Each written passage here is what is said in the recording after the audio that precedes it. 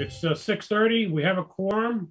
Um, one is, one person is missing. I'm sure he will show up, I think, later. And, I uh, do- I we'll- have a uh, text from Mark. He's on his way. okay. So, uh, we'll open the meeting. And first up, Mr. Dwyer is who? I have Mike Gagnon, who I believe is working with Kurt. Okay, Good evening, everybody. Uh, can everybody hear me okay? Yes, fine. S- Yeah, so what I'd like to do uh, on behalf of Kurt um, and his group is just provide you with uh, essentially of an overview um, of the development of the, or what we're calling the renovation of 401 Russell Street. Um, May I share my screen? Just a sec. Okay, go ahead.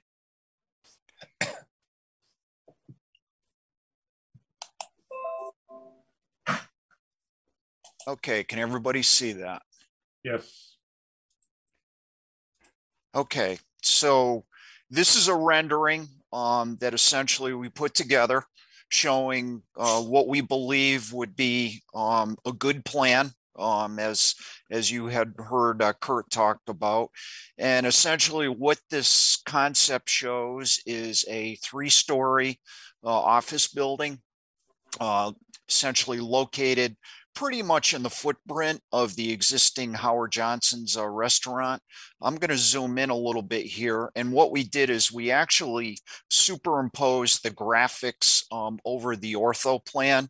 So it kind of gives it some definition uh, with respect to um, some of the underlying features and, and existing uh, detail that is out there. So just to give you a little orientation, uh, Russell Street um, is over here to the left. Um, the two existing entrances to the Howard Johnson's facility, there's a there's a curb cut right in here. Um, that's going to actually be closed off with this project. This is going to be all green space um, in the front, and we're essentially going to retain the existing egress uh, that's located up in in this area here. Uh, the existing uh, Staples uh, retail facility is is actually off the page um, at the upper uh, portion here. Um, and this is the existing right-of-way access that goes out to Westgate Center Drive. Um, and that also is going to be maintained um, as part of this project. And lastly, uh, Midas, uh, the repair facility is, is located down here. So obviously, one of the challenges um, that we have with this project is across the back here, we've got a considerable uh, wetland resource area um, uh, that uh, will have to be reviewed as part of a notice of intent filing um, that uh, that we'll file with your conservation commission for the activities uh, within the 100 foot buffer. Um, but just to kind of talk about some of the specifics here. So essentially the existing Howard Johnson's building is going to be removed um, in its entirety and will be replaced uh, with this new three-story structure. Um, the main entrance to the building uh, essentially will be in the rear here um, with uh, some accessible parking spaces um, across the back here. Um, we've laid out the parking area based upon um, providing access for a typical fire department vehicle, so they would be able to um, essentially get through the site uh, in here. Uh, the site generally slopes um, from north to south, uh, so essentially we'll be maintaining the existing topography and uh, stormwater management uh, is going to be addressed through a stormwater management basin that will be constructed um, back along the edge of the, the parking area. And with this particular project, we were actually able to achieve a 12%, roughly 12% um, with this plan reduction in, in impervious cover. So, you know, essentially out of the box, uh, we have a pretty significant reduction um, in peak flows from stormwater runoff. So one of the objectives here with stormwater management is to provide stormwater uh, quality enhancement. And, you know, we need to do that uh, to comply with uh, DEP's um, stormwater management standards. Um, part of the studies uh, that we're undertaking uh, with this project is uh, we we are um, in the midst of preparing a traffic uh, uh, impact study, um, recognizing the proposed use is going from off is uh, is going from an existing hotel uh, to proposed office. So essentially, we're looking at um, the intersections on the public roadways um, that are adjacent to the site, uh, most notably the existing access drives into the site, uh, the signalized uh, intersection um, that's that's up off the page here at Westgate Center Drive. So we're analyzing that to ensure um, that there's going to be no uh, dramatic uh, impacts uh, as a result of traffic generation. And I think the good news is, um, at least on a preliminary basis, is there's no indicators um, that that we're going to significantly alter uh, the level of service, uh, particularly along Route 9, um, as well as Westgate Center Drive. So I think, you know, that that's kind of a brief overview of the project. I mean, obviously, we'll be coming for uh, before you with a formal uh, site plan um, submission and filing. Um, and as I had mentioned previously, uh, um, we're also going to be filing with your Conservation Commission um, for a notice of intent. So, you know, I think with that, I'd be happy and or Kurt would uh, would be happy to entertain any uh, questions that you may have. I just got, you know, basically two, what, what is your guess of a best guess of a timeline? So I, Well, un- Yeah, I, go I, ahead, Kurt. I think, I think there's a lot of stars that have to line up, Jim. I don't, um, this is not a hundred percent go at this point. Okay, You know, we're not, we're not gonna be doing anything unless we have a tenant. Um, and there's, there's some stars that need to line up there. If, if it all goes well, it's next year, let's put it that way. okay. Um, what, what is your best guess of what the building will look like? You know, um, I actually, we, we have a, we have, uh, I think it's Kuhn Riddle doing, uh, some elevations for us and, and frankly, we haven't got to that point yet. Okay, I think we'll have, you know, that'll come down, uh, you know, my guess, best guess, it'll, it, it'll be s- s- something that may look like what you've seen over at Atwood Drive over there. But, you know, I don't know, to be honest with you. okay. Fair enough. Anybody else have anything?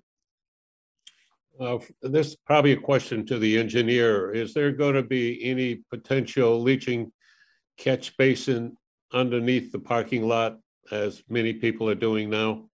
Yeah, so one of the uh, one of the challenges, Joe, uh, with this particular site is um, we've got a high groundwater uh, conditions out here. The groundwater is estimated about two two and a half feet below the surface. Um, so in terms of providing any subsurface uh, stormwater BMPs, I think that's going to be a challenge uh, in order to be able to get the two foot required minimum separation distance that uh, DEP typically requires uh, from recharge uh, BMPs. So what what we're going what we're hoping here is essentially to have everything run off towards the uh, towards the basin down at the lower end of the parking lot. Uh, one of the considerations with respect to that, and, and it will require some some investigations, is you know um, we had thought about we do this on a lot of our projects is you know is roof water. Roof water is you know typically pretty clean, um, so that's you know that that's a good candidate uh, to put into the ground uh, because it doesn't require a significant amount of treatment. Um, but again, on on sites like this, it it it can be a, a challenge just with the high groundwater conditions. Okay. Anybody else have anything? If not, okay, well, good luck and we'll be waiting to hear back from you. Thank you all. Good to see you. We'll Thank- see you. We'll see you when we see you. Yeah. Stay healthy. Yeah, you all too well. See Thank bye. you so much for your time, guys.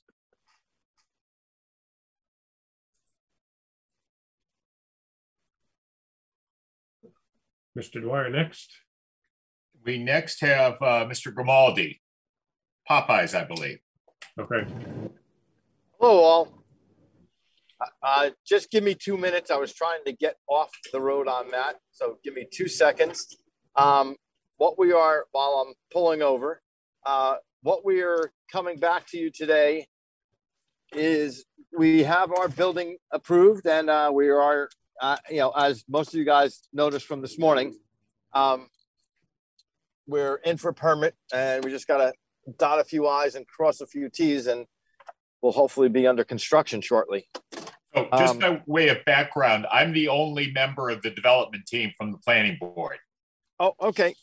So if you want to bring everyone else up to speed on where you are in the process, feel Okay. free. So from the building standpoint, and I apologize because uh, I'm doing this remotely. I'm doing this all from my iPhone. So um, I apologize for technical difficulties. Um, we are uh, we're in from uh, you know you, the board graciously granted us uh, an approval on the building, so we could file. Uh, everything's been filed for a while. We have a couple of details to work out with the uh, plumbing official right now, just as far as the amount of uh, uh, fixture units going through the grease trap. But um, I'm sure um, Dennis Phil will be able to work. We'll be able to work it out with Mr. Phil. And um, the only other thing is really just a, a meeting with the uh, fire department and our contractor once we have a contractor signed on, and we'll get that project underway, which will be a good fall project for somebody as it gets cold because there's you know it's an internal job mainly. Um, but we finally got the uh, the franchisee's uh, approved sign vendor to come back with the halo lit um, signage uh, that we submitted into the town. And now, again, this is where we're going to have some trickiness here. I'm going to try to share. Well, if, if it's easier, I, I can share. I have the, I have it up and I've already distributed it to everyone else as well. If you could, that would be fantastic. I greatly appreciate it. Okay, so let's see. There is the Popeyes package. Okay, so we are now on page one. Okay, so page one is the um, sign that will uh, uh, face South Maple. And it is the, you know, one sign, just Popeyes, no Louisiana Kitchen, um, that will be facing South Maple. And it is halo lit with LEDs that will be out from back and behind. And the square footage is the 32.25 square feet. Okay, so page one is a side view. So I'm going to go on to page Well, no, no, two. no, no, this is the front and side oh, view. Oh, that is the front. Okay. So the front and side. So it's the, what you're gonna be seeing in the front. And then, so those letters are, you know, opaque. And the lighting is going to bleed out from the perimeter of each of those sign letters. That looks And- fine. I'm, if I'm looking at the drawing right, I don't see any standoffs. It looks flush mounted to the wall, so I don't see how it it can be halo lit if there's no gap between, uh, behind it. You know, as I'm looking at it, I'm, I'm, I'm there with you. Because the returns look full, look full back. Now just hang on one second here.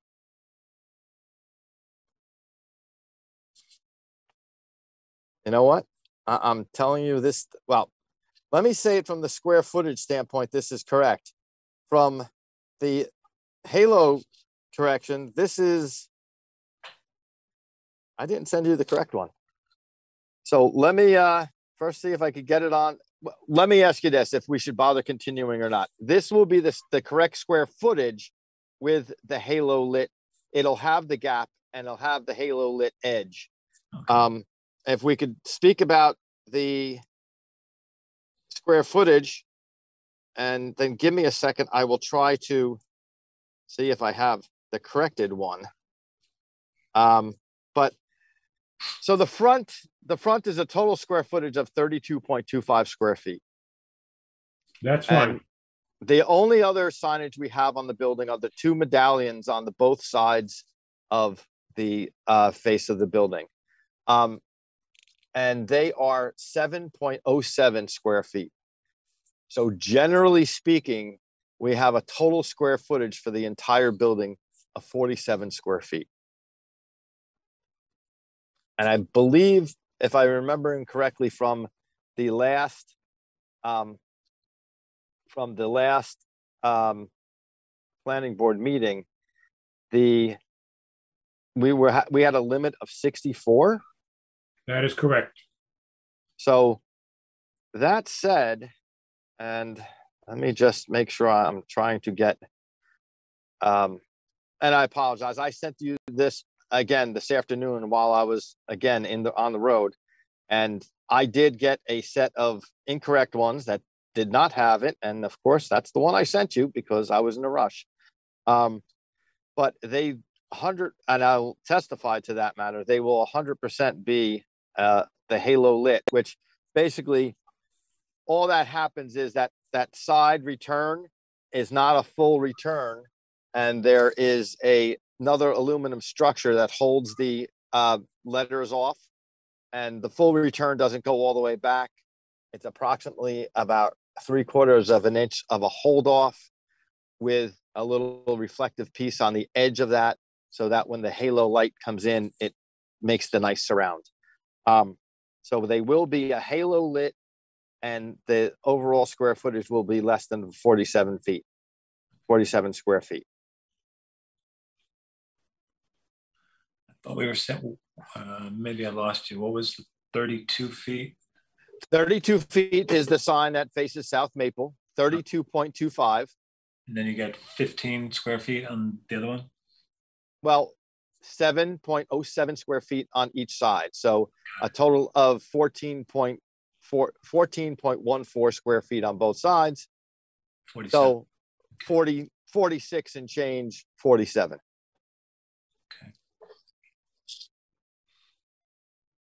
Was there some directional signs, uh, like for the drive-ins too, included in that package? Um, this is just purely the building signage. And there is, uh, as, as you guys may or may not remember, there is actually a pylon sign that at the moment, he's not even going to consider because right now, uh, th- their view is, "Well, look where it's sitting. I don't know if we need it. Um, because we're facing, you know, we're dead facing uh, South Maple. And so when you come up from that side, as long as we have the medallions on there, um, you're gonna you're gonna see the building. So the right now there is the ingress and egress to the back service road there, and there is a pylon sign there at the moment. Um, at the moment, he's gonna they're gonna come in. Uh, our understanding is if we even if we try to reactivate that pylon, it's going to have to go through this a standard procedure as if it was a new pylon, correct? Yes. So he's like, you know what? We're not saving anything right now. He, and basically he's like, we're not sorry, we're not losing anything right now. So let's go in and see if we could save a couple of dollars. I don't think we're going to need the, the pylon sign to be seen. So they're not looking to activate the pylon sign. And uh, basically, I- believe the, we're not changing the direction of the um, flow of the drive-through as it is right now. You'll, you'll have, obviously have the arrows painted on the, on the ground. Um, but I, I don't believe there's any planned illuminated signage, directional signage internally onto the site. On, are, are the medallion signs halo lit or just plain? No, sign? they, they will also be halo lit also. Okay, Let me get that up again. Uh, And remember, our, our building is basically at the top white. Oh, okay. A Little twitchy here, sorry. No, no, believe me, again, I, I'm sorry for not, for being so unprofessional in the fashion that I'm acting right now, but So let me just scroll scroll through it just so we can be sure we've seen everything. Uh, so this page- is, page Th- two. This is the front face and the side profile of it. And the only difference is that three inch dimension that you have there. And when I get you the corrected ones, and obviously, if I don't find it now, I'll have it over to you tomorrow. Um, the three inch dimension that you ha- you see there for the full return, that three inch dimension will be lessened so that I believe it's a three quarters of an inch hold off. And then internally, there's a structure that has a little reflective piece and a little aluminum piece, obviously to hold the return back so that the light bleeds out from around the signage. So I'm gonna So- move on to page three. Those are the medallions you're talking about. Those are 100% the medallions and the same thing. So that three inch return then in turn gets um, not the the edge of that gets cut out and we have a halo around that. Okay, so let me now go to page four.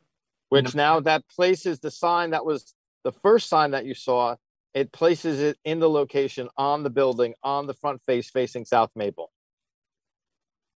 I was Okay, gonna ask you, I was gonna ask you, what is considered the front face? So it is the one facing South Maple. that Okay. this this is what i'm considering the front face the face that faces south maple That's fine. so th- there's been some minor confusion with the address on this because it is part of the same larger parcel that includes LL Bean, the 109 or whatever grill, um, the optical shop that's no longer there, uh, the AT&T, it, that whole corner with frontage on on Russell and Russell. South Maple is one parcel and it had been carrying a Russell Street street address. Um, so I guess this has been now changed on the E911 books to for a South Maple Street address. after our planning board last time uh, i believe and I, I apologize if i'm incorrect but i believe Dee Dee had concurred with the 911 uh, control system and let them tell her what we should be and in turn that's where we became 3 south maple street uh, road Okay, so let me just pop out along to um, page five, which is showing where the medallions are going to go. Yep. And that, so now when you're coming, you know, if you were on Russell and made a right down South Maple, you would come down and you would see our right side elevation. And that would be the medallion. And in turn, that's why the franchisee at the moment is saying, if I got my medallion and I got my sign in the front, why do I even need my, my, um, pylon? And if I'm have, gonna have to approach it as if it's a new pylon to begin with, So let's see what we have to do and maybe we don't do it. If we feel we need it, we'll go file it later and spend the money. Okay, now I'm going to go on to page six, which are um, just some Now- more detail. The, now, if you go back to actually from this, now go back to the last page though. So that is, see uh, at the drive-through window, um, just so that we have coverage so that when you're reaching out to get your order, you're not getting soaked with snow or rain. Oh, it's a canopy. Okay. That would be the canopy that now if you continue to the next page. That is the canopy, which it's, it's basically a flat stock aluminum canopy with two, um, I believe they're eight by eight, uh, LED downlights that just, you know, illuminate. They, they don't have a large, uh, spread or throw, uh, just illuminate, um, where you're at so you can see your, uh, your proceed, your change of, uh, your order. Okay. And I believe if you go to the next page, and that would just be the canopy over the windows at the front. And that has downlights as well. Yes. And that basically just, we're getting a little throw of uh, light to wash off on the uh, sidewalks. Yeah, and that's only like eight or nine feet above grade, I think. Uh, yes, absolutely. Yep. So that's not going to spread.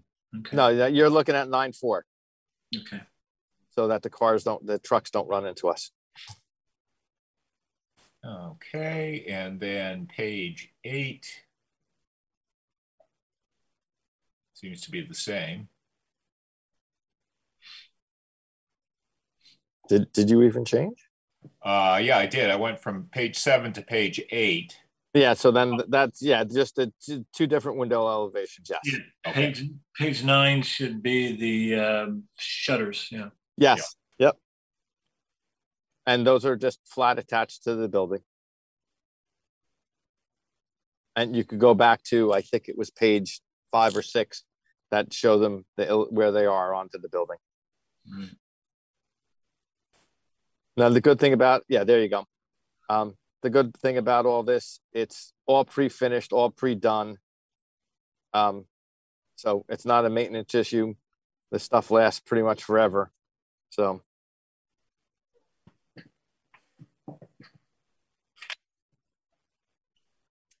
Okay, so do you think, we're, we're gonna be here for a little while longer, so do you think you will be able to find the, um, the current plans? yes, actually, if you uh, want to move on, and, I, and I'll just dig into my email and then uh, send them off to you. Okay, Okay. Um, Very good. if there's anything else, do you need from me? Nope, you get, get that, get the email to Mr. Dwyer and uh, we'll approve it tonight. Okay, let me. Uh, I'm going to put myself back on mute. Okay, Thank you. okay, Thank you. Thank Rob. you. And Mr. Dwyer, I'm going to send that to the planning at right. Correct. Okay, thank you. I have that running in the background. Okay. Okay. You got it. thank you. Thank you. Mr. Ken Comia, Oh, hang on a sec. Uh, Dee Dee, did you have something? Do you have questions? Well, uh, yeah, just on the address, um, we did look it up and I know the bank was, I believe, five South Maple, even though the, uh, you know, back of it, just like, um, Orange Theory. And then they're all to the, they're not facing the road, but they are South Maple addresses too. And because it does face South Maple, um, I believe we double checked in it and I believe at one time it still had a South Maple address. And so we made sure with fire and uh, police that it was on South Maple. Right. So that's what they're going with, with the address for now. Okay, thank you. and then You're it's five, welcome. Dee Dee is five South Maple? Uh, yes, I, be- I No, believe, I- I think we're three. yeah, there are three. Yes, we're three. Yeah, I just have to double check in here. And there were three. there you go.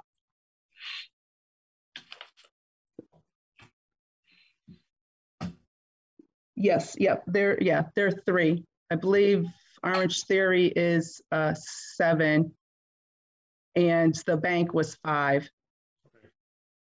That's fine. Thank you. You're welcome. Mr. Comia. Welcome. Oh, before we get into it, uh, just to cover the technicality, um, Mr., like, as everybody was sent an email, Mr. Michelson is going to be, as verbally requested an extension. He'll be getting me the actual paper copy shortly, but he's requested an extension to twelve seven for his accessory apartment. I'll make a motion to extend to twelve seven. With condolences to the loss of his father. You have a motion, Mr. Mike, Second. seconded? Second. Any other discussion? All in favor? Aye. Aye. Any opposed? Motion passes unanimously. Okay, sorry, Ken. Before I forget, that's, I just want to do that. Um, so, um, good evening, board. So since the last meeting, which was what, two weeks ago, we talked about um, trying to quantify or trying to create a a ballpark number for the calculation of a purchase price based on a qualified market sale. And so um, as I sent the board last night, um, let me share my screen. Um, this document, um, which is the one we've been working on for the past couple of months. Um, I know that we had discussed arm's length sale, and so I tried to find, you know, that seems to be an, actual legal term that I've noticed. And Bill, I don't know if you've come across a different term for that, but I also don't know if it's appropriate because it makes this so much longer. Um, what I proposed here with regards to using that language. Um, putting the definition of what an arm's length sale is. And then, you know, using utilizing the rest of that particular clause. So I think we can still, you know, dwell on that with regards to um, you know how you want that to read just so that if the board is going to be looking at um, those those um, the the thing that that Bill sent this morning, which were the sales prices from the assessor's office, um, that you can determine those based on um, you know what's presented and based on what's in this particular regulation. Ken? Yeah. uh, Just in case we have any public viewing this tonight or in the future, Sure. correct me if I'm wrong, uh, when we discuss arm's length, that is just to take out of the equation any of those inter-family transfers for a dollar, which would skew the whole average, right? Yeah, that was my understanding too. And, you know, in the research of what, just searching what arm's length sale is, because I'm, I'm not, you know, I'm not familiar with some of those terms. Um, that's what it suggested. And the, the definition was one that I defined here um, in blue that I'm um, highlighting. What, what Um, does, what does that mean, Ken? I don't.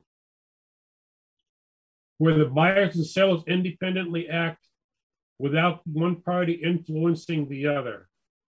my understanding was that um, the influence could be suggested that it's a family or you know within a certain um, yeah I, I mean i don't know necessarily the terms and that's probably But- not the best but what if, what if the family members got three independent appraisals? Is that not arm's length?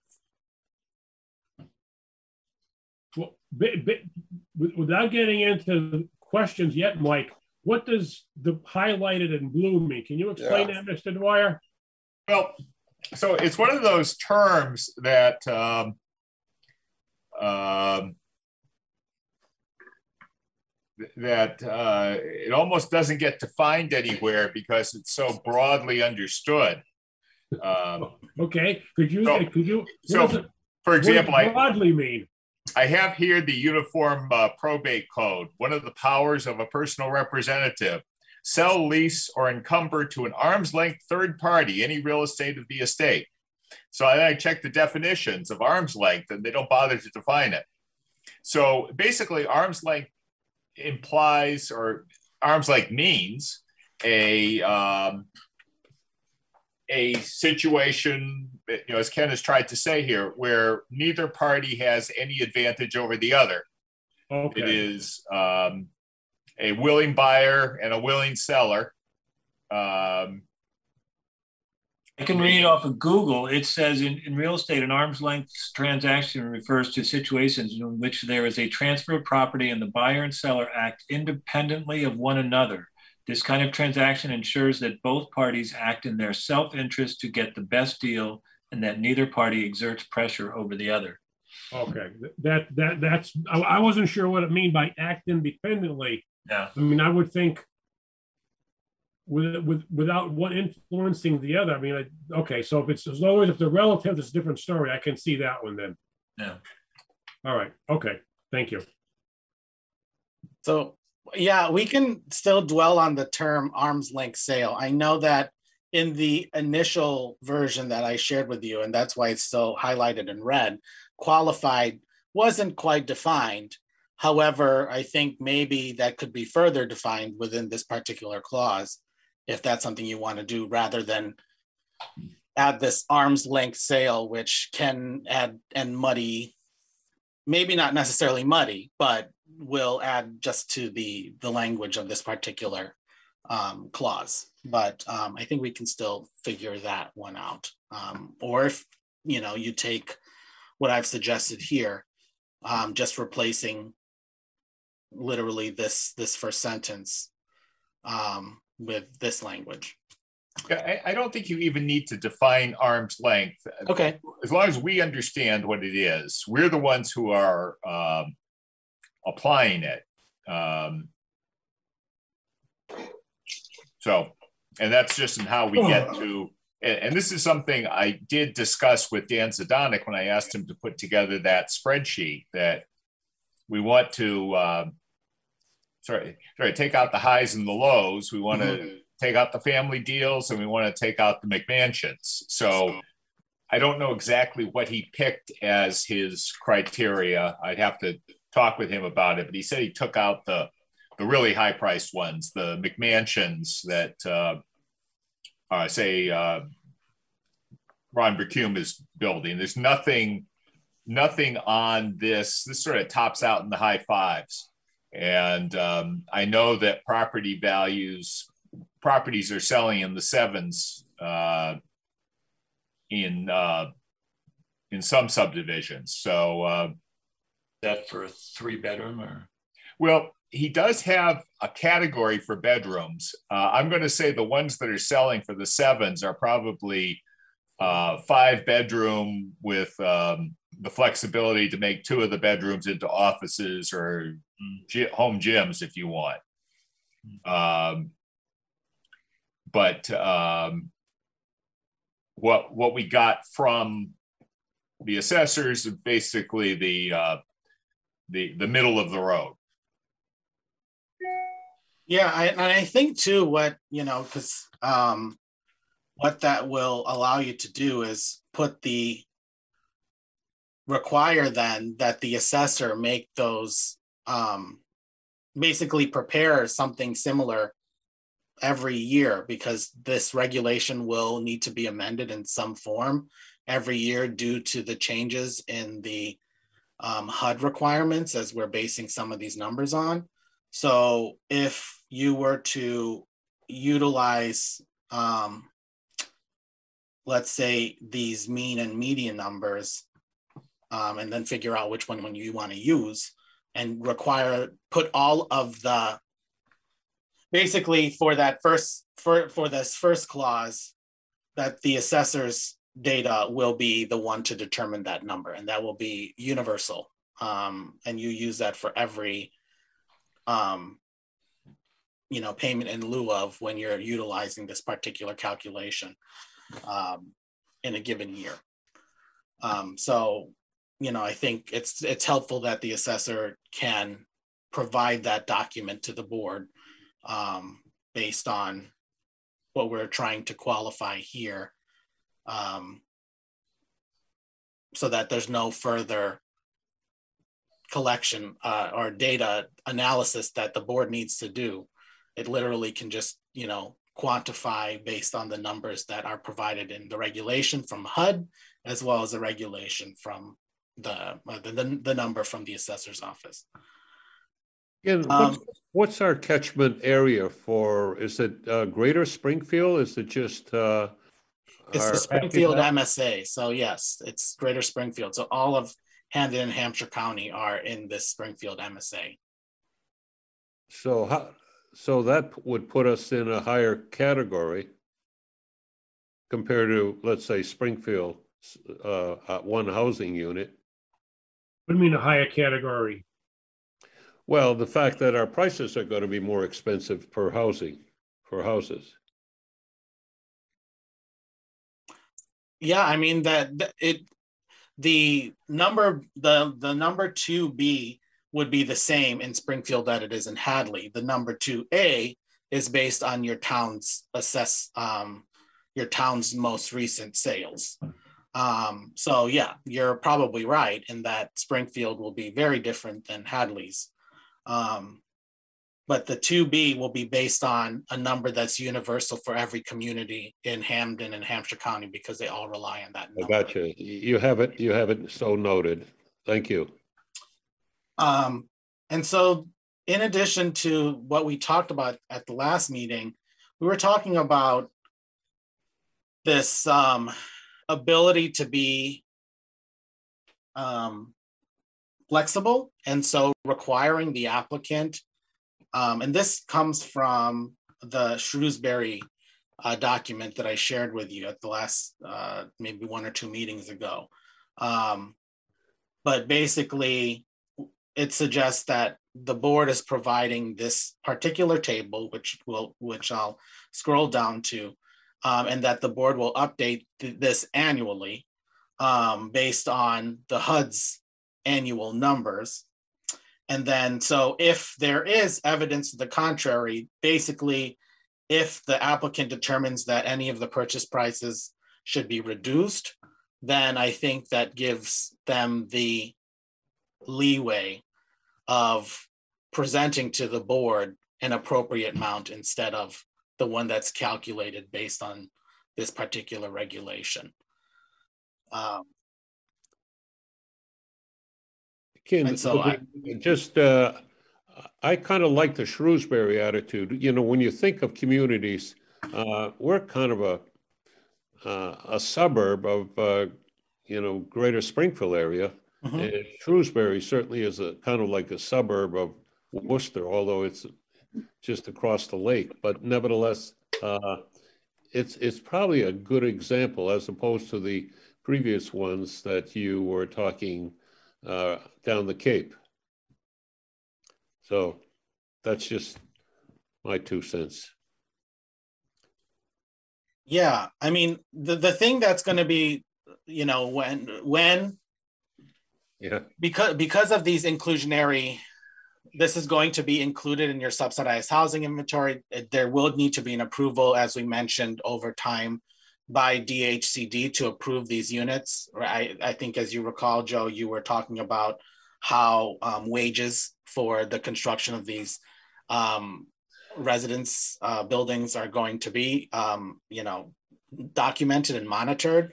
So there is going to be that review process. And so I think that um, they will have something to say um, with regards to you know the way that it's initially presented to the state. Um, however, That's I do point. think, yeah, That's a, that's a good point you bring up because I was thinking that's a protect, uh, let's say a developer is going to build a unit offsite and he's going to probably make a house that's pretty worn down up to code and uh, he will do it with the private wages. But you're telling us now that when he does something like that and it goes into the affordable uh, 40, 40B, uh, it's going to have to be prevailing wages. No, no, not at all. well, yeah, not yeah, not not in all aspects, but Okay, all yeah. right. Um, but th- I think this provides the flexibility that you're asking for. I don't know if it's too wordy, if you think that it can be simplified in any way. Um, this suggests that, you know, it should satisfy the affordability requirements if they do come up with a different number. Um, but it will be up to the planning board or the whoever is going to be responsible for determining, you know, what goes into the fund.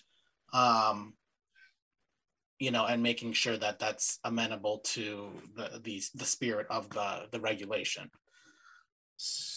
Um, so I had one question. Let me look at my copy of this, which I have up in the background. Um, um, okay, I don't, I don't think this is too wordy because I think we want to get this right because it's not going to come up very often. Right. Um, I mean, we only have one subdivision that has even triggered this so far. Uh, so that's like one in three years. Now, admittedly, it was a, a downtime and there is other inventory out there. Um, but what I would like to say is in number four, um, that um, um, maybe the funds contri- uh, funds contributed to the town of Hadley in accordance with these guidelines shall be shall be um, administered by the Affordable Housing Trust Fund. And then we don't have to say um, anything about any interest earned uh, and uh, expended only with the approval of the select board, that's already embedded in the Affordable Housing Trust Fund. I think we just want to make sure that it goes to the Affordable Housing Trust Fund. I've seen direct language in some of the other samples we've looked at about Okay. making I'll take a look. So that, that basically all of the, the, um, that all of the funds that are accrued by the inclusionary payment in lieu of will go straight to the Affordable Housing Trust Fund.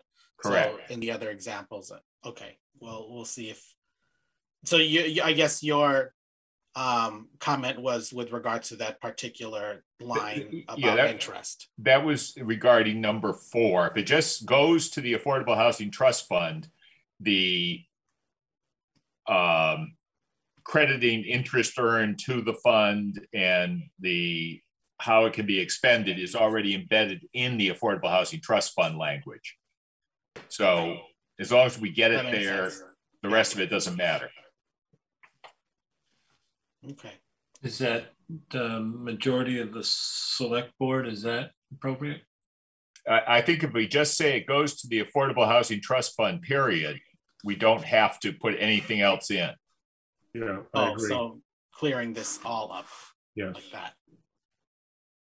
I mean, simpler, the simpler the better. Um, that just acknowledges that the funds that are, are collected due to this will go straight to that Affordable Housing Trust Fund. Mhm. So the, the task at the last meeting was to determine, you know, what a maximum price could be. Um, and I'll just say that it was a challenge because I was trying to figure out um, how, through the examples that I was able to find, how they arrived at those. Um, and so I'm going to just open this particular, um, this particular link, which um, gave me, or th- that I worked off based on um, get arriving at these numbers um, based on utilizing the various um, examples that they provided here. There is jargon in there that, is there a footnote that, that defines AMI and, uh, So to add the, the jargon, yeah, I I'm think we, do we talk about, I think we talk about AMI up here. is it? Okay. Yeah, so. Area median income, so if we have the parentheses AMI there, that'd be oh, good. yeah.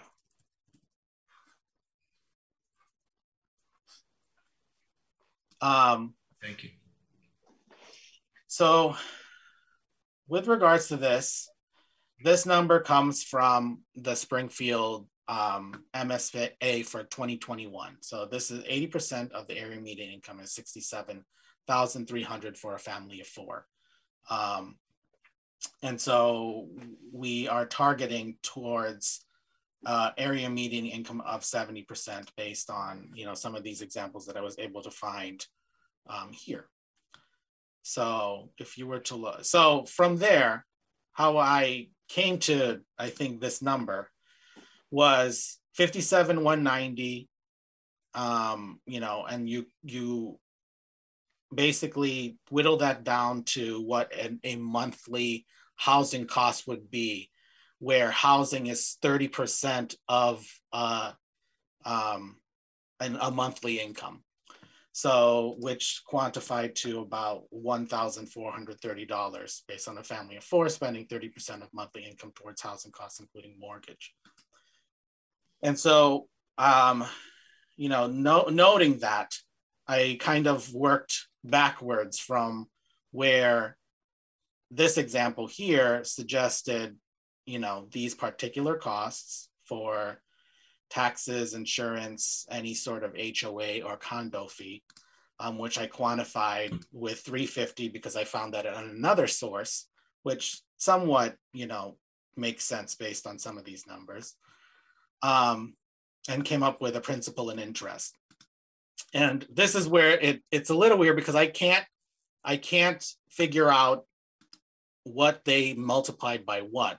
However, they were all multiplied by the same number. And so I divided this mortgage amount by the principal and came up with 162.41. And that was the same for all three of these. So this is very different. Um, and so that arrived at this particular number. Or was it the maximum price? One of those. Um, and I just applied that number to come up with one of the, I think it's this number that it came up with. Um, and then figured out the down payment to, to figure out the, the estimated mortgage. So what I'm saying is that it's based on this example, but I work backward. Um, and I don't know not necessarily how to um, quantify if if that's in fact necessary based on this example and based on this resource. Um, so I, I, you know, I asked the board to, you know, if this makes sense. Um, but I think it does based on the way some of these numbers are presenting themselves. Uh, and the suggestion would be that this is what your 2B number is. And then you look at your 2A number when we when you look at you know clause 2A and 2B over here to to these these numbers and then come up with the difference between this and the 2A, um, which will put you in the range of hmm, almost like 250. No, 210.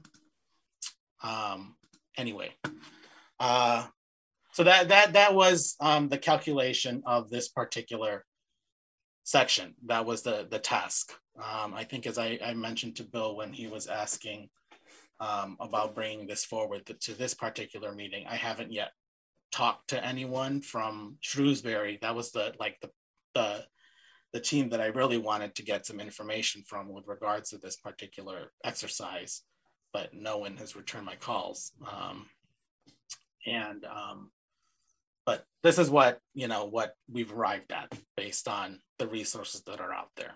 So, so you're saying, if, if I'm interpreting this correctly, in our statistical area, someone who would otherwise qualify for affordable housing can pay no more that can can afford to pay no more than $185,000 for a home. That's a suggestion, yeah. Okay. And Oh, then, Based on 70% of the area median Okay. income. so and that may be a realistic price in central Hampden County or maybe a hill town, but um, then we look at what the assessors gave us. And um, that's a pretty big spread. Low twos to upper fives, yeah. Well, even if you just do the uh, the mean or the median, which functionally are, I know there's a distinction, but the numbers are close enough. You're around four hundred. So if it's if you can afford 189 and we're getting 389 and some change, it's like we're looking at a payment in lieu of something in the order of $200,000. Is that yeah, I think that's based on the this particular calculation. I think if you recall from the Shrewsbury example, um, that is where they arrived at. It was like between 185 and two um, for a single family home. So, yeah. so that does make so what was the what was the number I- i'm just trying to get it in the minute so what was the number 189 was the maximum affordable 185. 184. 85. five plus or minus and Hadley average is three uh, 399 call it. Oh, no three, the, the the mean is 399 realizing that 2020 the prices are high but even go to 2019 the mean is 2368 you're still talking you know $190000 you're right, Bill. And this is to purchase a house when, you know, so affordable purchases. But I when we, was, talk- when we talk about having I wasn't here last week or two weeks ago. But I thought we kind of came to the conclusion that even though we're, we're not talking about buying a house, we're talking about affordable rents. that's what I thought we were talking about rentals. Yeah, so I don't even know why we're doing all this stuff. We're talking about affordable rents, not buying a house. Well, I mean, I, you, on the, on the, on the screen before, you had down payment of eight thousand dollars. Where in the hell are they gonna come up with eight thousand dollars? Well, this- like, but I think if we're talking to a, if we're talking to a developer of a subdivision Exactly right, who Bill. is building houses or selling Wow. building lots in there, Right now, um, as Barry did, yeah. yeah. Uh, I think we have to talk about sale prices. Um, Yes. What happened to, I guess, you know, I probably shouldn't even be part of this discussion because you guys clearly went on a different tangent than I thought we were on at the last meeting I came to. Was making a contribution per lot and not worrying about all these crazy numbers that, But, but the, but the con, the contribution per lot has to be based on something. Exactly, yeah. And it's gotta be based on the sales price of an affordable house. well, what was, I just noticed a number here earlier. In, in no case less than sixty thousand dollars. Where did that number come from? That's a minimum payment. Yeah, but where'd it come from? That was just the number we pulled out of the, pulled out of the air. Thank you. Before all of this research, which Right. shows that it's actually quite a bit more. But we're talking about if you got a development of seven lots, then there'll be a contr- contribution per lot. So it could be seven times twenty or, or seven times thirty. Right. so, It's just a lot simpler. This is, well, it, it- I, this is, what, is- what is that? This is, uh, I understand, I understand what you're saying, Mike, and I don't disagree with you. I, yeah, okay, I I'll thought shut up. we- I'll we shut up. Wanted just to- don't- we wanted to figure out what this worked out to when we were Yeah. just talking about um, formulas on paper without Yeah. any data. We didn't know where we were going. Now we know where we're going, and you know, frankly, I don't think we'll get a, a single payment in lieu. At it, it's, I can't imagine that it's not going to be more cost effective for a developer to renovate a unit somewhere else in town, bearing in mind that it could be a studio apartment Yeah. um, compared to buying out under this formula. But now, But, now but they, know. but- the assumption is they still have to buy that rehab unit. And how are they gonna come up with eight thousand dollars for the down payment to get a mortgage, which they probably won't qualify for? Well, So it, This is but- real world. no, that's sort of that's that's not not where we're going with this though. Okay, The- okay, the developer uh, has the op the developer has always had two options. Build an affordable unit in the development. Yeah, or create an affordable unit elsewhere in town. Or make payment in lieu. Yeah, so um, again bearing in mind only one developer is even implicated in this at this point yeah.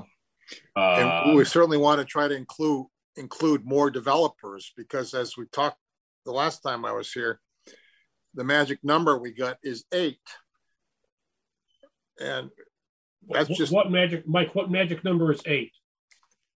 if you build eight units, you have to have an affordable unit. No, six. Six, I'm sorry, six, Six. okay. Yeah. So six, six or more triggers affordability. But my question was, why doesn't two or more, if the, if the cost of the houses are nine hundred thousand dollars each, why isn't it two or more? Well, that, that's something that Bill, Bill also mentioned that what we should do is go all the way down. That if it's six or more, this is the option. But if it's one to five, there's going to be a minimum contribution per lot. We'll have to amend the zone bylaw. Because I Yeah, agree, we need to make okay. everybody pay something, otherwise they're Yeah, gonna be. exactly. We don't, we don't want these McMansions to escape putting money into the Affordable Housing Trust. Right. Absolutely correct. I think we mentioned that. Yeah. Yeah, th- that'll be something we'll be probably putting on the next, Okay, uh, town Okay. meeting. okay. Yeah, so this, this is just our regulation for the payment in lieu part.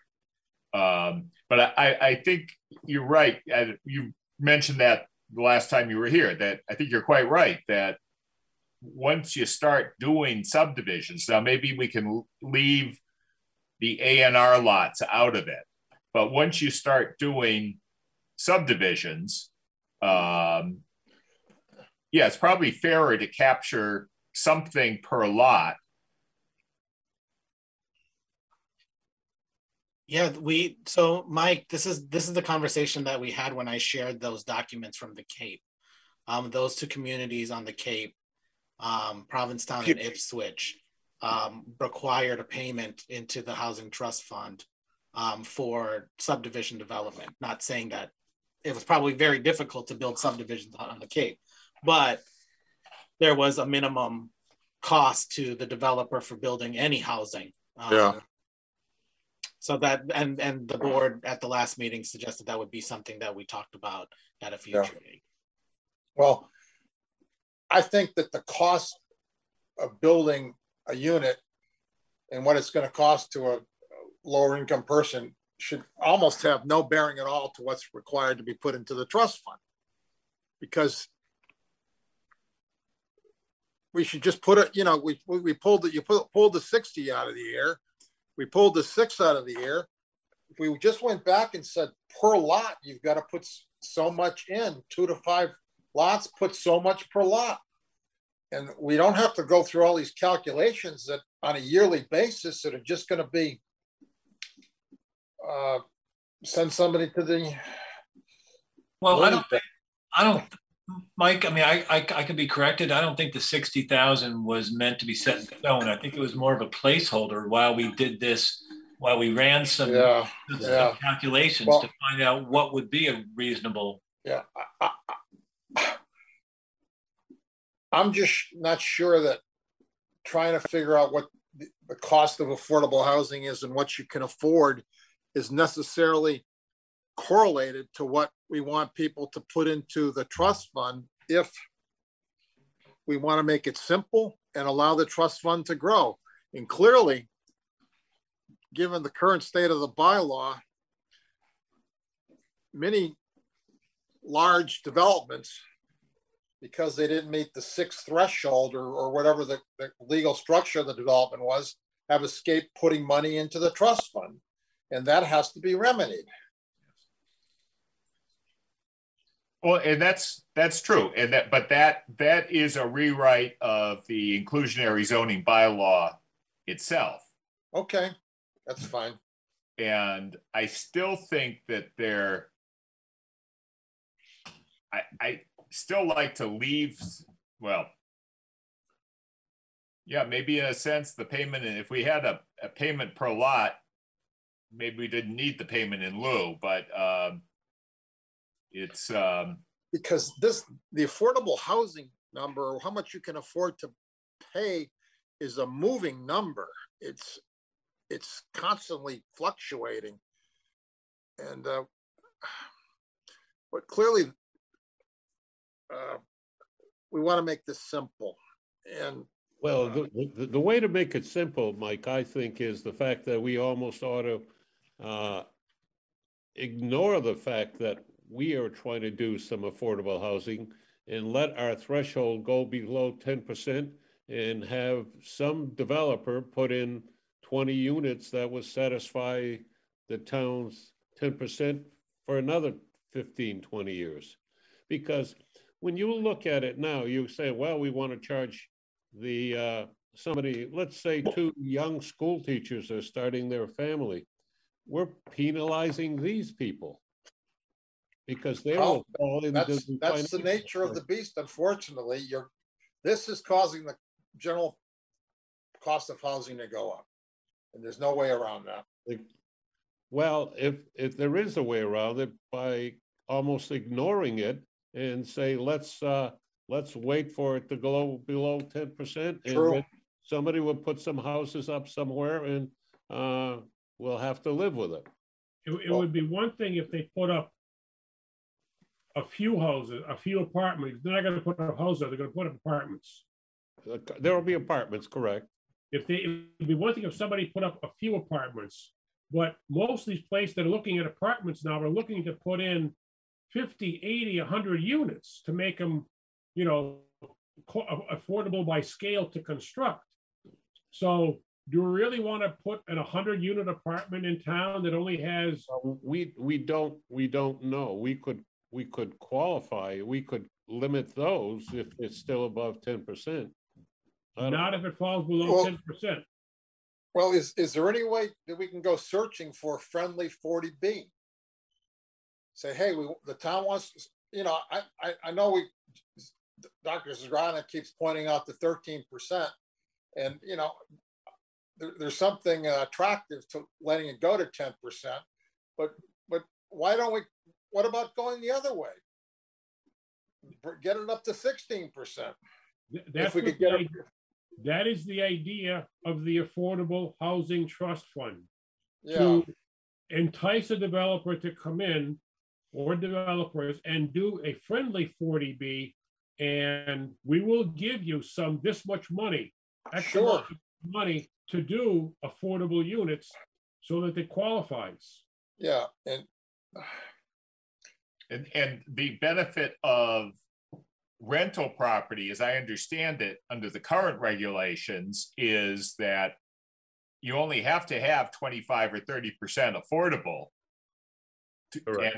And hundred percent of the apartments in the development qualify for the inventory if only as many as twenty-five percent are affordable. Well, if we were proactive in this, then And th- th- we that's, could, we, we couldn't be forced to, he could, uh, uh, adverse forty B couldn't come in and put it wherever they wanted to. We could, we could have some control over it, Absolutely. Absolutely which. I think is important. So I, I, I don't know how to go about suggesting that we want, we're, we're welcome, welcoming friendly forty B offers in town. Well- Clearly, you know, clearly, public transportation is key to this. I mean, we, Route nine can't look any more worse than it's gonna look in Well, about two years. to do, a- to do a friendly forty B, Mike, a lot of towns or cities have an enticement for them, you know, exempt from taxes, exempt from this, not doing this. We, we don't want to make them exempt from taxes. What we're trying to No. do is use the Affordable Housing Trust Fund as our enticement. And we Yeah. need to get that built up so that we can have a decent enticement for somebody. yeah, well, I think the first thing you're gonna do is get rid of the number six. Well, And, you know, clearly it's gonna take, I really wish. we num- could number start six meeting- is, I'll tell you what, I wish we could start meeting publicly again to look at each other six- across the table, because this is complicated Number- stuff. number six right now is an arbitrary number. We can make that something different. I don't want to get rid of number six. I want to make it something that, again, if it's zero to five units, we want them to put something into the fund. yeah, So we can, we can reword number six to make it such that if it's zero to five, it'll be so much per lot or so much per u, per lot, yes. Maybe it's So- twenty thousand per lot or something, and you know, that, know. that takes it up to a hundred thousand for five lots. You know, so that, you know, each lot should sub, sub, should put something in. I don't know what the number is. You know, ten thousand a lot? That would be fifty thousand. But right now it's based on per unit, be based on the six or more units. Yeah. So we're talking two different things here. Yeah, And that's not unlike what Barry Roberts is doing with a, he's taking a slice off of each condo he sells sure. and con- and putting that in. So, Or, um, or, or let's put it this way, charging more for each condo he sells. Right. Exactly right, Mike. so to help to help Mike out here, maybe uh, Ken, uh, maybe just stop sharing so we go to fuller, bigger pictures. So, so you get my, you get my argument, you know, I think. Yeah, I, no, I, I do. I, I think they're, they're, they're. All I'm trying to do is if we are going to talk about creating a payment in lieu formula, the other issues are valid, but they go back to the underlying inclusionary zoning bylaw. Um, I think we're just talking about a payment, the payment in lieu slice of that. I think it's worth working out, but I thank you for the work you put in, Ken, working up the numbers for um, for that for that part uh, because it really is an eye opener. You know, I, I a Sure payment was. payment in lieu at that point, and and that's why I think it was worth the exercise because otherwise we're just going around in circles with what ifs. Now we I'm not- have a hard, hard number, and uh, and it doesn't look pretty. No, And I, I personally think we want the payment in lieu for six or more units to be reasonably high as we can talk about this one. We want them, we want to encourage them to build something affordable or converts into something affordable in town. see. It's gotta be tied to what the cost of development is, not necessarily six or more units, but the cost of those units. I think we're saying one or the other, up to six, or no, is it one through five, you pay per unit. and Then you go to Okay, six, and then you have a, in lieu of different calculation, which is. I wanna catch, I wanna catch the, the, the- the McMansions, as it's been put. Right. Because and they so- slipped, they slipped through the crack and clearly those are the ones that could afford a decent contribution to the trust. And our, and we're kind of, you know, damned if we do, damned if we don't, because if we say we want to keep that per, per lot cost low so that you can build two three hundred thousand dollar houses and not exorbitantly raise them, then you're letting the McMansions, if they build two eight hundreds off, you're letting them off cheap. So it's, yeah. I think, I think the days of Hadley building three or four hundred thousand dollar homes is over. Yeah. Well, I'm, I'm just tossing out examples. Yeah, I know, but I just, you, you get my gist. It's just, it's, And then there's the obvious question, which what we were talking about earlier is, you know, I think someone said we want to, we want to incentivize people to, to build. Well, if we do that, then who's respond, I guess the select board and their budget, you know, who's then setting money aside for the Yeah. ultimate infrastructure improvements? Because the more housing that's incentivized, you know, our septic, I mean, our, our sanitary isn't gonna hold up, our school isn't gonna hold up, you know. well, that's another thing Joe Zgrodnik's pointed out. If you do a development, it has to be on town sewer. Uh, But I, I wish there were some way we could incentivize a friendly forty B. Uh, and, and rather than wait for something to happen, try to make something happen. Well, I I- think That it's, might, it- that might be require a change in our zoning bylaw, but it would, at least would be in front of the curve.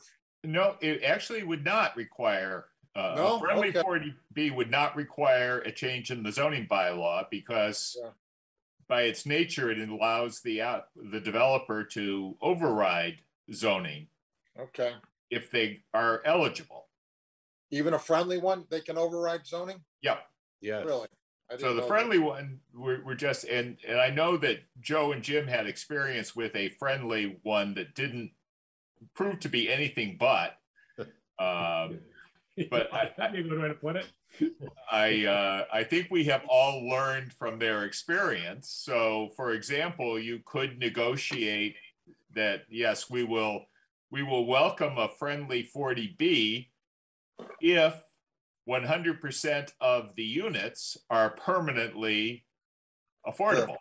Yeah, Um, and I don't think when this all started 20 and 30 or more years ago, affordable for 30 years seemed like um, seemed like a long time.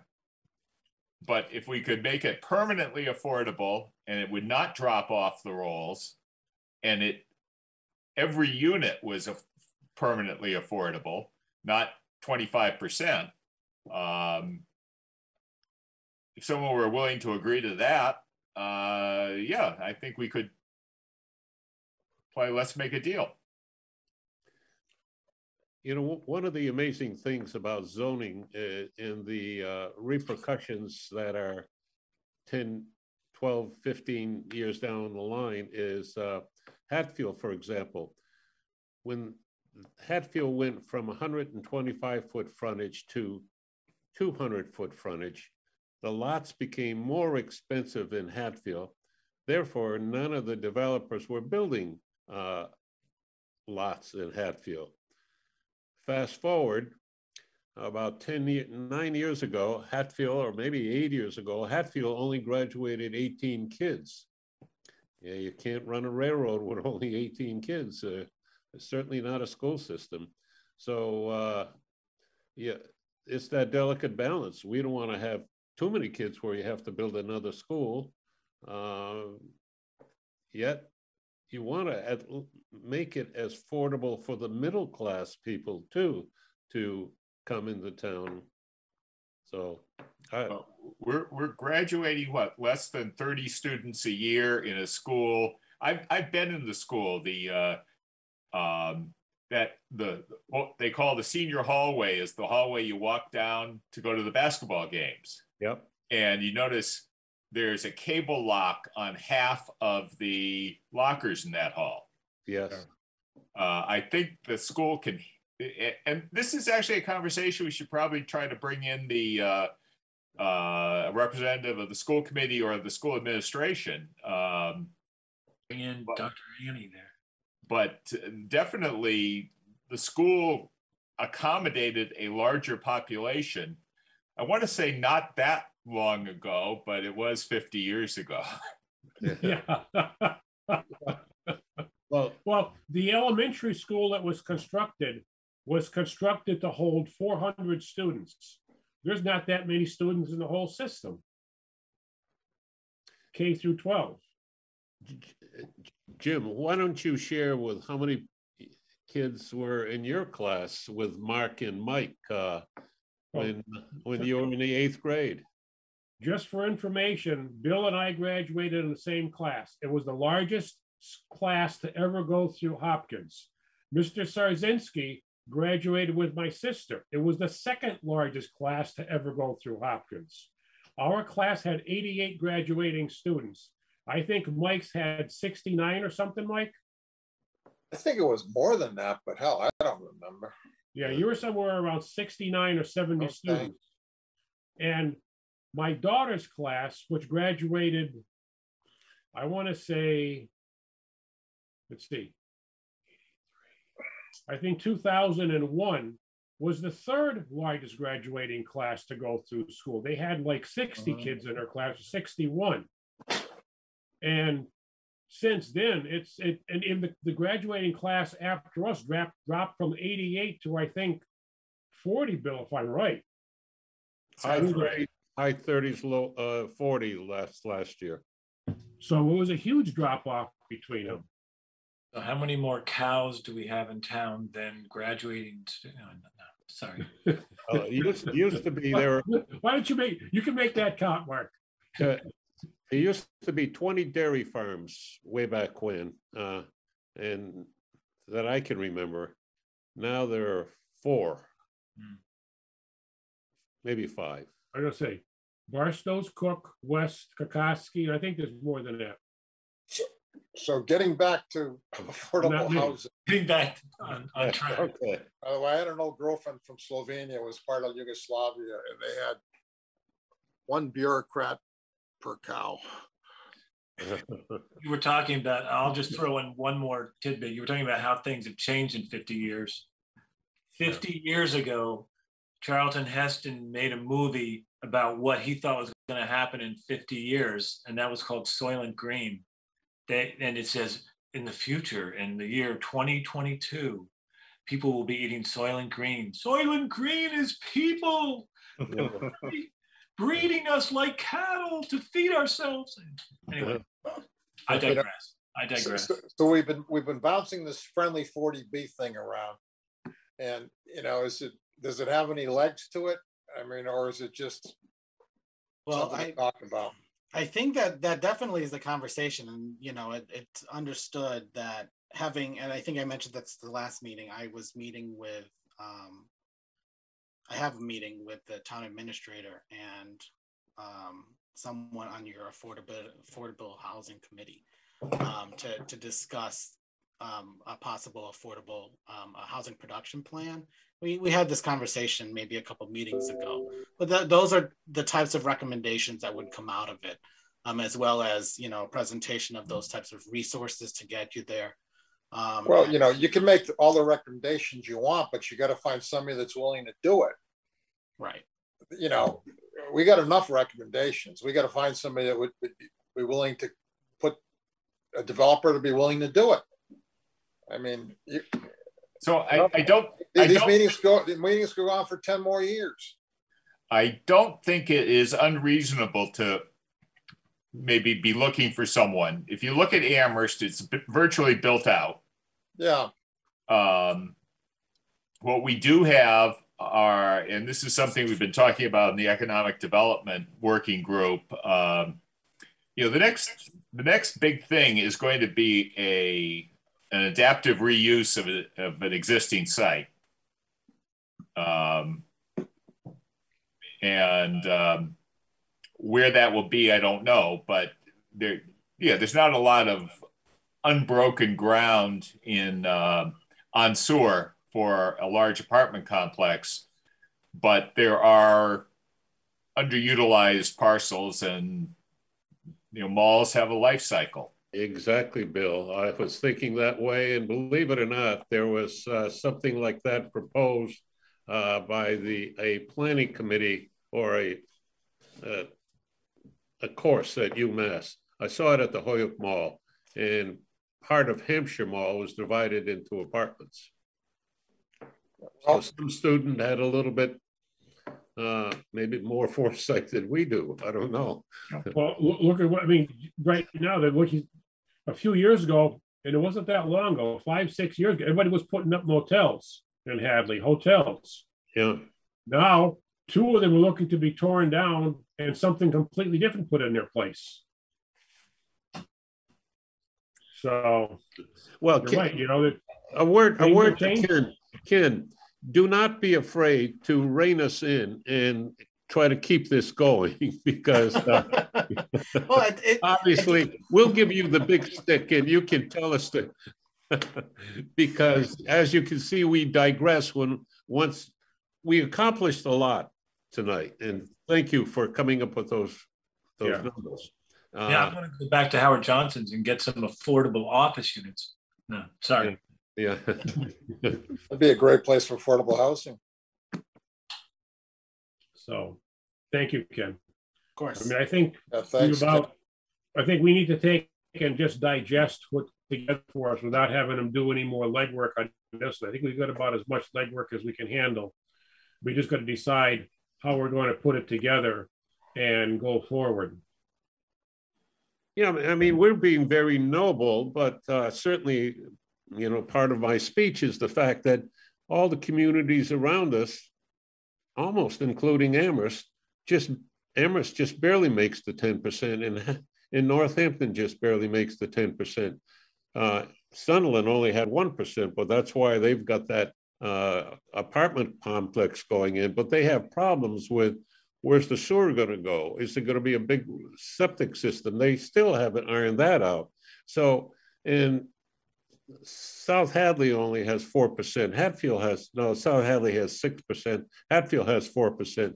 So we don't want to become uh, go beyond while the other communities are not doing their responsibility. So those, that's my editorial comment for tonight. Well, So I, I want to say for the record, first of all, we d- have not reopened the public hearing on Oh. planning board regulations. I could, it's continued to tonight. I would like to make a motion to continue the public hearing, which we have not reopened, continue it without reopening to uh, maybe the second November meeting. Okay, That would be November sixteenth. I don't think we have anything on for the sixteenth. Not yet. That's correct. Okay, so I'll make that motion to continue. Second, Motion a second. Any other discussion? Hearing none, all in favor? Aye. Aye. Any opposed? Motion passes unanimously. Okay, so Ken, I wonder if we could just ask you to keep on trying to get in touch with Shrewsbury Yeah, and anyone else you can find and get any sense of what their um, payment in lieu payments look like. Um, I know I, I did send one around really early in the process. It was, it was a North Shore town, and I forget which it was. and They were doing uh, beachfront condos, and they had Gloucester, wasn't it Gloucester? something like that. Yeah. Uh, they had Rockport, or Gloucester, I think. yeah something up there. They had worked it out that for there would be a flat assessment for every condo that was sold, and the ones that had beachfront that, that had ocean views were like call that 25,000 and the ones that did not have ocean views were 15,000 per unit Hmm. which sounded okay because again a unit's a unit and that was in in place of requiring that any of those be affordable. I'll try to look through my my file and see if i can find that one again. Well, we, we took that cl- online class, the Zoom meeting, and that's where it came up, remember? yes that was the the planning director from that town was talking about their experience and then i Yeah, dug up the actual bylaw and found it. Um, so that that kind of goes back to more of mike's idea about making getting a, a slice of every developed lot Yep. but uh, what i'd really be interested in is any if you could find anyone to talk to who could tell you what what they're actually getting You know, getting back to a slice of every development, developed lot, I would prefer, so we don't penalize the, the middle income person, is getting a slice of every lot and develop, and house that has developed over a half a million dollars. You know, uh, that would protect the middle class, middle Uh-oh. income town. You're sounding like a polit, somebody running for political. Well, I, you know, Like, I'm, Only tax the rich. We'll No, only no. tax the rich. I'm I'm changing, I'm changing my ways. So I, um, and then I, I guess we certainly can, can talk about taking a broader view of inclusionary zoning and friendly 40Bs at the 16th. Though I think we'll try to just keep, trying to protect that so nothing else You know- gets scheduled for it. I, you know, I would, I- we can talk about forty B some more, but I want some other people in town, if possible, asking questions rather than just have this an intellectual discussion. And the only way to get a friendly forty B going is to talk about it and approach somebody to see if they'd be willing to doing it. Then they can be part of the discussion. Yep. And because, you know, hell, I'm not a developer. Nope. But we have to, we have to prepare the ground that Yeah, is we are. Worth well- discussing. Well, well, perhaps a developer could help us prepare the ground a little bit because, you know, I'm, I'm shooting buckshot. Mark, you just have to, you just have to plow in, Mark. I just have to plow in. Um, I have something I would like to ask to add to um, Ken's charge, but that's not my not my um, role. So I will pose this to to Jim as as a chairman. Could we, uh, you know, I'd be interested in, while Ken's looking at these other communities and what, what their payments in lieu of, and I'd be interested in what they've spent and how they've spent it, what kind of transactions, you know, because I, it's hard for us to picture, you know, we're building up this fund, but where, how have people successfully expended that, Yeah. those funds? I, I think that's a good idea. To- Yeah. Towns that have an affordable housing trust. Um, some that have spent it, and what have they spent it on? It'd be good to learn from their experience, yeah. Gloucester was a three, three or four story, basically apartment building. I mean, there's quite a few towns around it You that know, have. in or- that in have order to make funds, housing affordable. But nobody think has spent much, if anything. In I order do- to make housing affordable, Hadley is gonna have to go the direction of more concentrated housing. Uh, it- It's just, it's not gonna happen it was single dwellings. It's just not. No. We could have our own UMass Southwest, you know, with our towers. Yeah, we're definitely, we, we know we're, we're not going to get bang for our buck by churning out one Habitat for Humanity house every other year. Right. No. That's not going to do it. We want a big bang. We want, we want to make us, you, you, you- you guys that have been here thirty years want to make, forty years, want to make a statement. So, uh, as to Mark's point, Yeah. uh, as to Mark's point, Ken, I think I recall one of the trainings we went to on the various affordable housing. It it was maybe Lenox or Lee that um, used the affordable housing, their affordable housing trust fund to steer a um, a 40B to a location that they would prefer to have it at. And they used some of their money to uh, maybe build an access road or extend the sewer line to that spot, as opposed to the spot where the developer initially wanted to go. Okay, So, um, so the town paid for that or, so yeah, I guess the, the town agreed that they would extend the sewer line to to the uh, the parcel on the east side of town that they wanted to see built up, but they weren't going to extend it to the parcel on the west side of the town that they didn't want to see built up. So something like that. Uh, I wish I had more detail, but that was something I used subsequently in discussion discussing why an affordable housing trust fund can leverage itself. But there's something something like that. I wish I had, I wish I had better memory, but about 30, maybe 35 years ago in the, when I was in the private sector, I was doing a project for EOCD, which uh, that's what they were called then, the Executive Office of Community Development. And I was doing a big housing project, and I think it was in Lee. I, you know, I can't remember if it was 40 or 80 units and all this. You know, it never got off the boards you know, whether the economy or whatever. I was just a, you know, junior architect at that point. Lee is a little poorer community as opposed to Lenox being more affluent, so. um, so I quickly looked at, because I, I, I referred to this, I think, a, a couple meetings ago. Um, with regards to Shrewsbury, in the absence of being able to contact them, which I will continue to try. Um, but in their housing production plan, they do list the payment in lieu of units. And since t- 2005, they've accrued um, $933,901. Um, it'll be interesting to see how they've spent that. Um, What town was that, Ken? Shrewsbury. Shrewsbury. Shrewsbury, okay.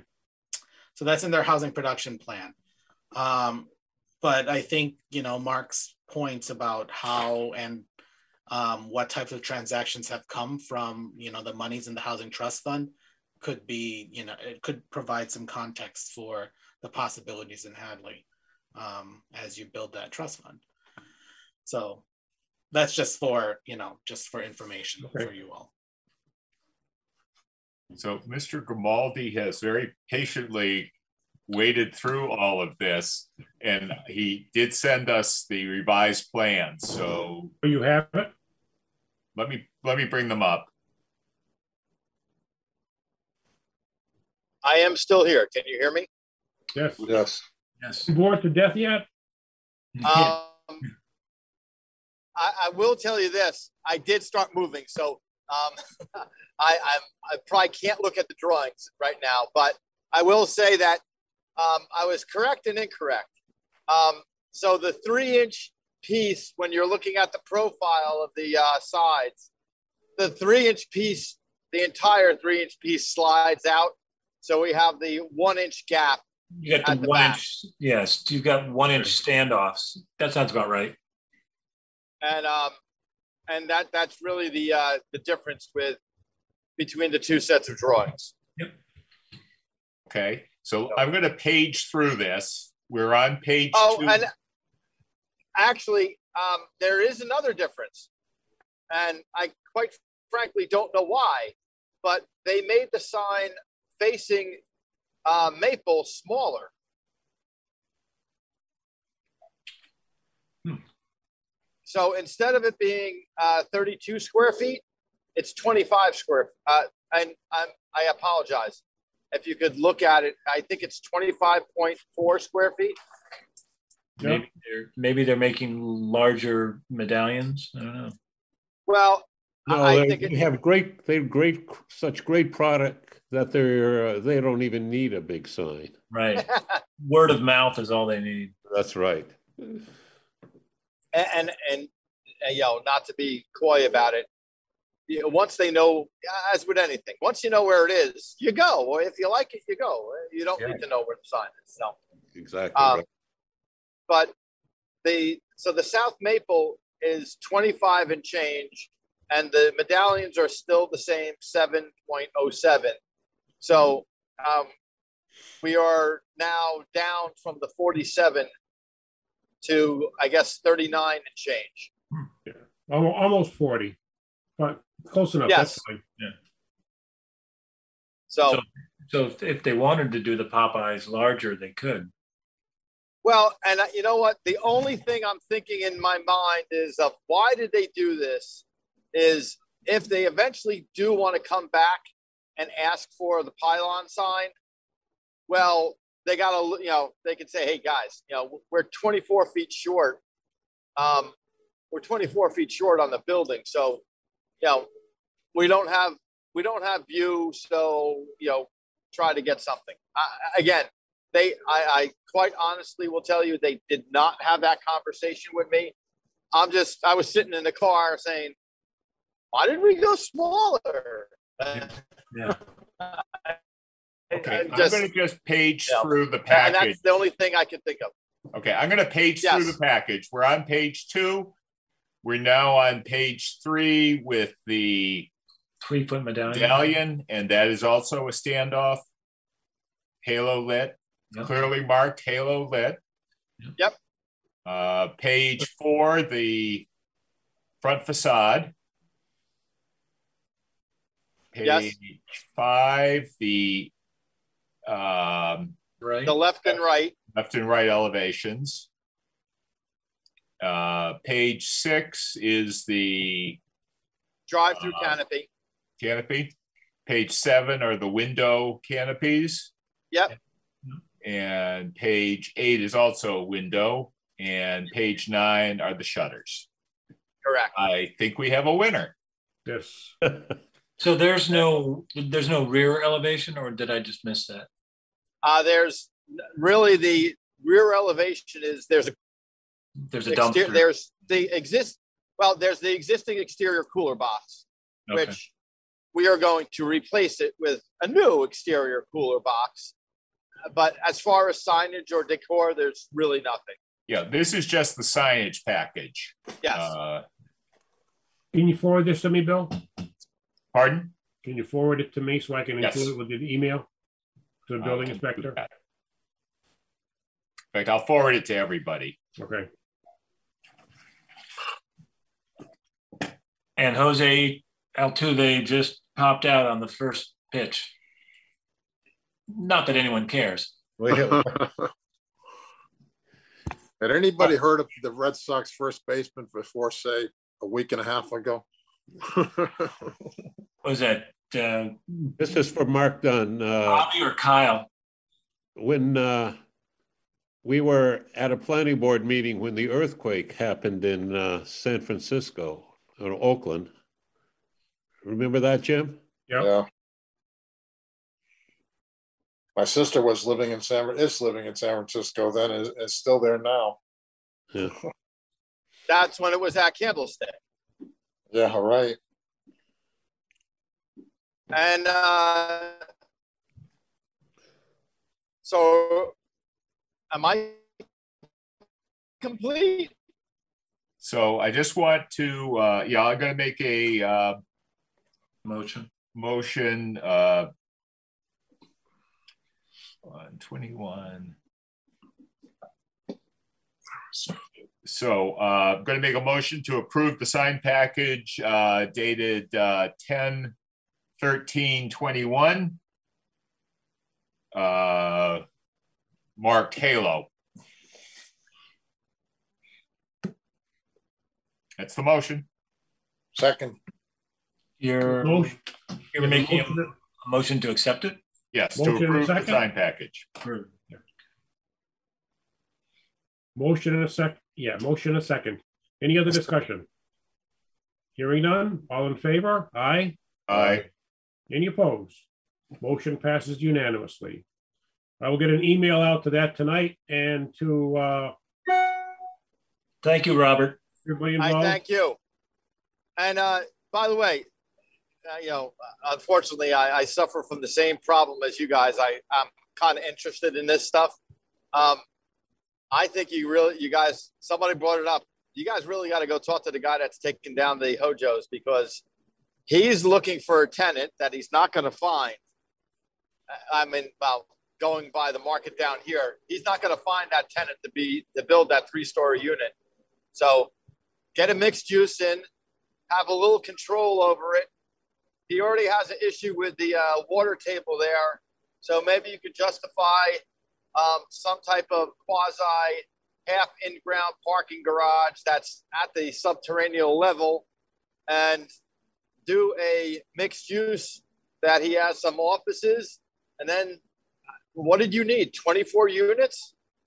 I mean, I don't know if you're going to get all 24, but if you put something to that guy, he, you know, you might have a little control over him, or little, at least a little leverage.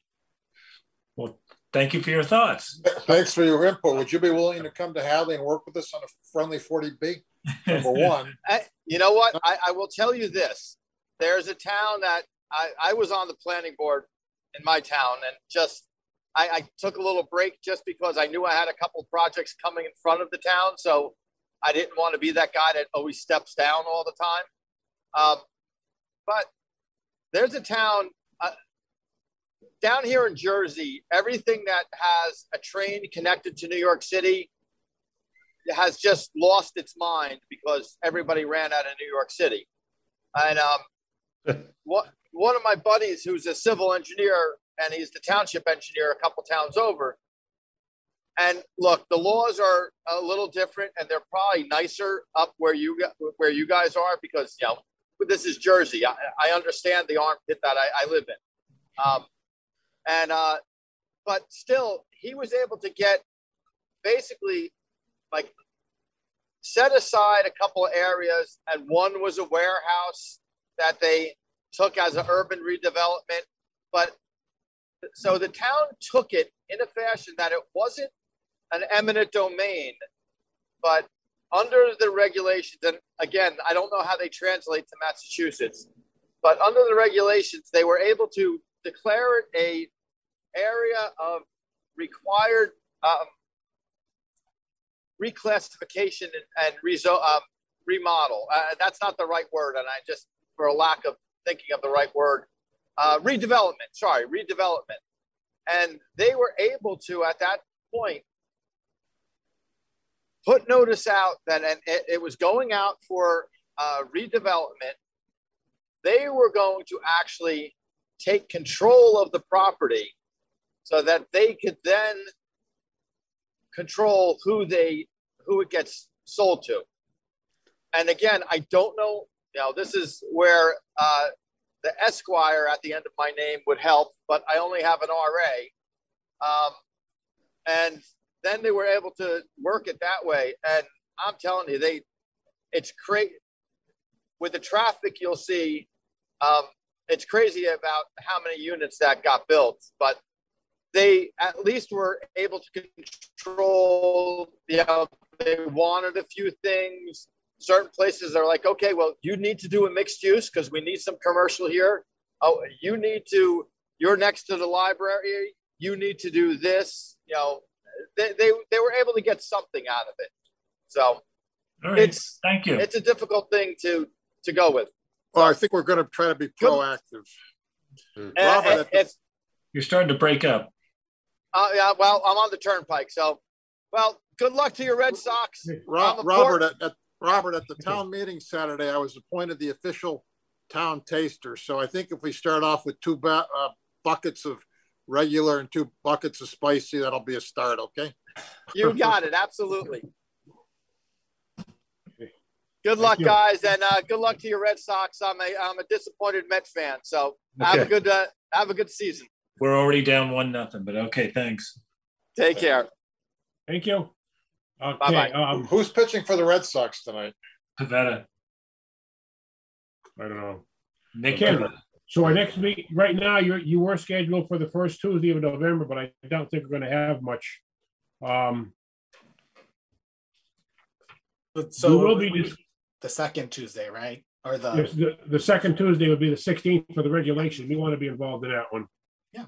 Okay, So we have uh, Ideal coming in for November, second, November 2nd. Um, this will be continued to November 16th. right, And then Kevin will be in December seventh. 7th.